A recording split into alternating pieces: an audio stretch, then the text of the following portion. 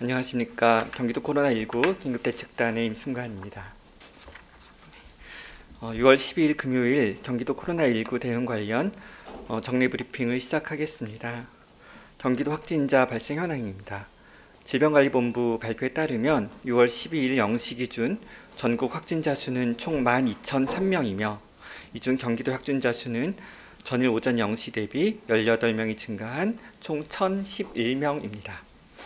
인구 100만 명당 확진자 발생 수는 73.7명으로 어, 전국 17개 시도 중 여섯 번째이며 시군별로는 성남시가 155명, 부천시 142명, 용인시 89명 순으로 도내 29개 시군에서 확진자가 발생하였습니다. 인구 10만 명당 확진자 발생 수는 군포시가 18명으로 가장 높고 다음 부천시 16.7명, 성남시 16.2명 순입니다. 경기도 확진자 중 694명은 퇴원하였고 현재 295명의 도민이 병원 및 생활치료센터에서 격리 중입니다. 다음은 경기도 병상 운영 현황입니다. 6월 12일 0시 기준 경기도는 국가지정 입원치료 병상 운영 병원 3곳, 공공의료기관 5곳, 도내 종합병원 8곳 협력으로 총 16개 병원에 528개의 확진자 치료 병상을 확보하고 있고 현재 사용 중인 병상은 그중 54.7%인 289병상입니다. 경기도 생활치료센터에는 49명의 확진자가 현재 생활하고 있습니다. 타 시도 및 외국인 사례를 포함해서 총 338명의 확진자를 도내 의료기관과 생활치료센터에서 케어하고 있습니다. 이는 가장 확진자의 진료 숫자가 많았던 지난 4월 첫째 주 대비 80%를 넘기는 수준입니다. 다시 한번 의료진들의 노고에 감사 인사를 전합니다. 신규 확진자 현황에 대해 보고 드리겠습니다. 금일 도내 발생한 신규 확진자는 총 18명입니다. 해외 유입이 1명, 리치에이 유행 관련이 11명, 양천구 운동시설 관련이 2명이며 경로가 아직 확실히 알려지지 않은 지역세 발생 신규 환자는 4명입니다. 이들 4명의 감염 경로는 역학조사 중입니다. 서울 리치웨이 관련 도내 확진 상황 말씀드리겠습니다. 서울시 관악구 소재 다단계 건강기능식품 판매 업체인 리치웨이와 관련한 도내 확진자는 전일 0시 대비 11명이 증가한 총 38명입니다. 추가 확진자 중 2명은 지난달 5월 30일 리치웨이를 방문하여 첫 확진 사례가 나왔던 서울시 강남구 소재 명성하우징 관련 기확진자의 접촉자들입니다. 3명은 분당 방문 판매 업체인 NBS 파트너스와 관련된 접촉자들이었습니다. 서울 강남구의 프린서플 어학원 관련해서도 2명이 신규 확진되었으며 이들은 기확진되었던 해당 학원의 수강생 접촉자들로 이 기확진자는 역시 명성하우징에서 아르바이트를 한 이력이 있는 것으로 확인됩니다. 성남시 중원구 하나님의 교회와 관련해서도 4명의 추가 확진자가 발생하였습니다. 이 추가 확진자들은 기확진된 성남 NBS 파트너스의 판매원들과 같은 교회 교인으로 함께 예배를 보며 접촉한 것으로 추정됩니다. 리치웨이에서 시작된 감염이 성남 NBS 파트너스를 통해 하나님의 교회의 순으로 연쇄적으로 확산한 것처럼 보입니다. 경기도는 추가 확진된 성남 하나님의 교회 신도 등 확진자들의 이동 동선과 접촉자 등에 대해서 심층 역학조사 진행 중입니다. 다음은 서울시 양천구 운동시설 관련 도내 확진 상황입니다. 양천구 운동시설 관련한 도내 확진자는 오늘 0시 기준 2명이 증가한 총 24명입니다. 해당 탁구장 관련된 사례가 6명, 추가, 추가 전파 사례로 용인 큰나무 교회와 관련된 어, 사람들이 18명입니다. 금일 추가 확진자 중 1명은 기확진자의 접촉자로서 6월 6일부터 자가격리 중이었습니다. 이 확진자는 김포시 천사요양 재가센터 소속 요양보호사이며 어, 다행히 자가격리 중에 확진되었기 때문에 추가적 접촉자는 없습니다. 또 다른 확진자 한 명은 용인 큰나무 교회와 관련하여 기확진된 광명 어르신 주간보호센터 확진자의 접촉자로서 이, 이 역시 6월 9일부터 자가격리 중이었습니다. 한편 확진자가 발생한 해당 센터가 입주해 있는 광명시 복지관, 지역아동센터 이용자, 종사자 등 관련된 130명에 대한 진단 검사를 실시하였고 그 결과 전원 음성 판정을 받았습니다.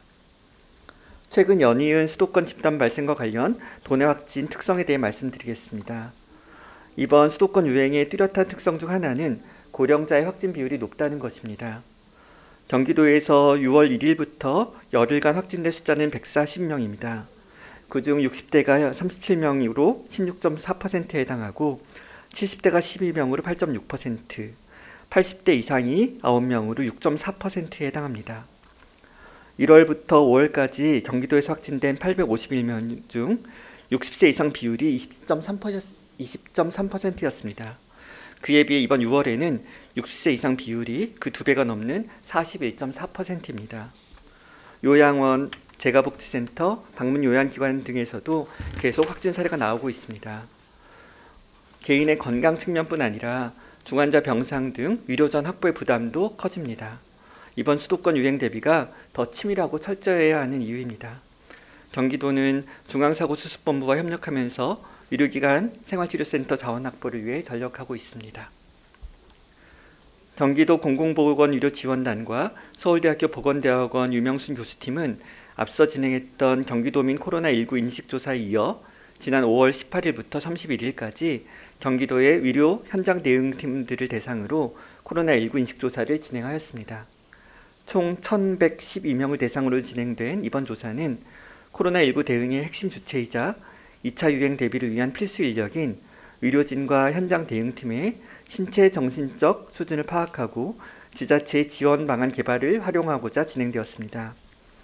조사 영역은 위험 인식, 예방 행위, 스트레스, 신체 정신 건강, 업무 환경, 업무 의지, 그리고 책임감 등이었습니다.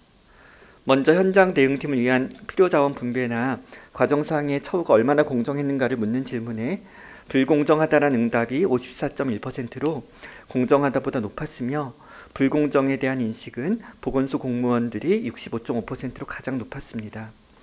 현장 대응 업무에 따른 건강 상태 변화를 묻는 질문에는 37.5%가 나빠졌다고 답했으며 근무 기간이 길수록 건강 상태가 나빠졌다고 응답했습니다. 그럼에도 코로나19 대응에 대한 업무 지속 의지는 매우 높게 나타났습니다. 코로나19 사태가 계속되는 한 내게 주어진 일을 계속할 것이라고 답한 사람은 83.4%였으며 코로나19 상황이 아무리 심각해도 내가 맡은 일을 계속할 것이라는 응답 역시 77.0%로 압도적으로 높았습니다. 최근 수도권 확진자가 증가하는 상황에서 많은 의료진들과 방역, 방역 인력들이 느끼는 부담은 더 클 것이고 많은 진단과 검사 프로그램 또한 방역 인력에게 큰 업무 부담을 줄 것으로 생각합니다. 경기도는 도 공공보건의료지원단, 서울대학교 보건대학원 유명순 교수팀과 의료진 및 현장 대응팀에 대한 2차, 3차 조사를 계속할 것이며 최종적인 종합 결과를 토대로 보다 현실적인 지원 방안을 마련할 계획입니다. 선별진료소 하절기 운영 수칙과 관련해 안내드립니다. 현재 경기도에는 총 109개소의 선별진료소가 운영되고 있습니다. 보건소가 운영하는 곳이 49개소이며 의료기관에서 운영하는 곳이 60개소입니다. 또한 24시간 운영하는 곳도 16개소 있습니다. 섭씨 30도가 넘는 무더위 속에서 레벨 D 전신보호복을 착용하고 근무한 의료인들의 온열 건강 문제가 언론에 보도되기도 한 가운데 6월 10일 중앙방역대책본부는 선별진료소 하절기 운영 수칙을 발표했습니다. 경기도는 우선 보건소 선별진료소 근무자들의 업무 환경 개선을 위해 냉방 장치가 설치된 워크스루형 검체 채취 부스와 에어컨이 설치된 휴게 공간을 지원합니다. 총 29억 원의 재난관리 기금을 활용해 17개 보건소에 워크스루 검체 채취 부스 33개를 16개 보건소에는 에어컨이 설치된 휴게용 컨테이너를 26개 이상 지원하기로 결정하였습니다. 지난 10월 10일 보건소별로 5천만 원에서 1억 5천만 원까지 관련 예산 지원을 끝마친 상태입니다. 중앙방역대책본부는 코로나19 관리 지침에 따라 긴팔 가운을 포함한 사종 보호구 사용을 권장하고 있습니다. 이는 선별 진료소뿐 아니라 확진자를 진료하는 의료기관에서도 마찬가지입니다. 기초적인 진찰, 검체 채취 등 가벼운 접촉 상황에선 안전하게 적용 가능한 방법이고 세계보건기구 지침 등 국제적 표준과도 부합합니다. 코로나19의 유행 초기에는 바이러스의 감염력이나 전파 경로 등 정보들이 불충분하여 최대한의 예방 조치를 취한 측면이 있습니다. 다소 과잉 대응임을 알면서도 불가피하게 취하는 정책들도 있었습니다. 이제 전 세계의 다양한 경험과 연구를 통해 과학적 사실들이 많이 밝혀졌습니다. 축적된 지식에 맞춰 대응 방법과 수위를 조절하는 것이 현명합니다. 우리 정부도 관련 지침의 개정을 통해서 이런 변화들을 반영하고 있습니다. 경기도는 중앙방역대책본부의 지침이 일선 현장에 정확하게 전달되어 합리적인 방역 활동이 순조롭게 진행되도록 같이 노력하겠습니다. 끝날 때까지 끝난 게 아닙니다. 방역의 원리를 정확히 이해하고 실천해야 합니다. 소강 상태였던 유행이 다시 증가 추세로 전환되면서 많은 사람들이 긴장과 불안을 느낍니다. 경기도의 확진자 진료 수준은 격리 대상자가 가장 많았던 4월 첫째 주 대비 80%를 상회했습니다. 네 달이 넘게 헌신해온 의료인들의 지구력도 떨어지고 다시 처음부터라는 생각에 정신적으로도 힘들 수 있습니다. 그러나 새로운 다짐으로 새롭게 시작해야 될 시점입니다. 다시 사회적 거리두기로 돌아가야 하냐는 질문이 있습니다. 이름을 어떻게 부르건 간에 지금보다 더 수용적인 태도와 적극적인 실천이 필요합니다. 지난 5월 사회적 활동량이 늘었음에도 신규 확진자 발생이 계속 억제된 상태를 유지했습니다.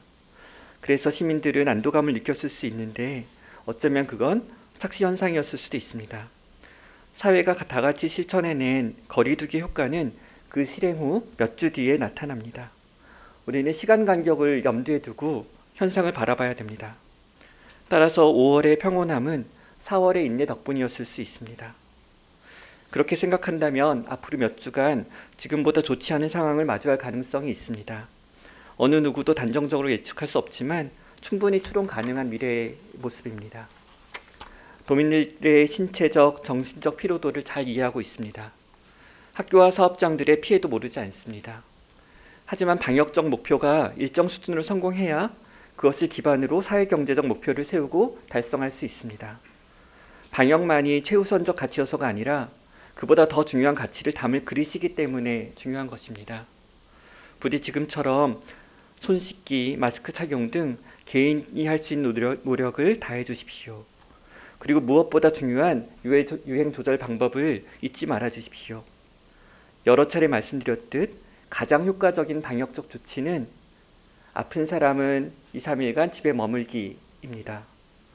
열이 나거나 새로운 호흡기 증상이 있을 때 그 개인은 집에 머물며 다른 사회와 섞이, 섞이지 않도록 해야 합니다. 증상이 지속되면 보건당국 안내에 따라 검사를 받아야 합니다. 아픈 사람이 발생한 학교, 직장, 다양한 사회적 커뮤니티들에선 너무 당황하지 마시고 비슷한 증상을 보이는 사람이 더 있는지 점검하십시오. 그 후에도 며칠간은 증상이 생기는 사람이 더 나타나는지 확인하십시오. 중앙과 지방 정부는 이런 핵심 방역 원칙이 지켜지도록 지원을 해야 합니다. 경기도에서 요양보호사 등을 포함한 취약 노동자들에게 병가소득 손실보전금 정책을 실행한 것 역시 그런 맥락입니다. 언론의 역할과 영향도 매우 중요합니다. 코로나19가 확진된 사람과 집단에 낙인 효과가 발생하면 이런 숙제를 풀기가 점점 더 어려워집니다. 부디 유념해 주십시오. 3월 말 4월 초의 첫 파도를 경기도와 수도권은 무사히 잘 넘었습니다.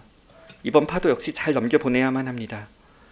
우리 모두가 방역의 핵심 원리를 잘 이해하고 기억하며 실천한다면 반드시 그렇게 될 것입니다.